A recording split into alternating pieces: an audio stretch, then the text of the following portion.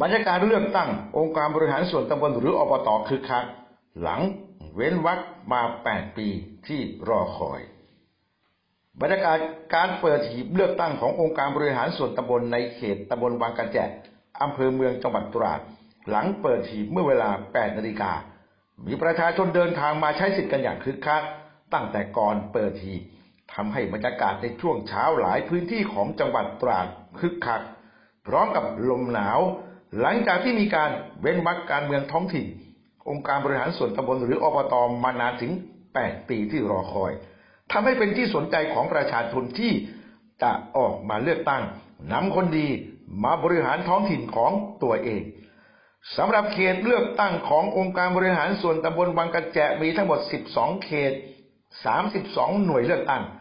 มีผู้สมัครลงชิงนายกจำนวนสองคน ขนาดเดียวกัน ที่อำเภอคลองใหญ่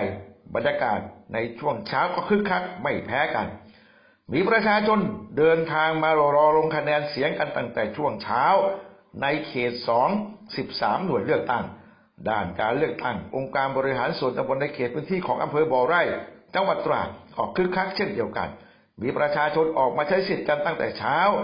โดยประชาชนบอกว่ารอคอยมานาน หลัง มีการประกาศให้มีการเลือกตั้งวันนี้ ก็ดีใจอยากได้คนดีเข้ามาพัฒนาในหมู่บ้าน แล้ววันนี้ก็มีนายกในดวงใจแล้ว News 24นิราทิพสีรายงาน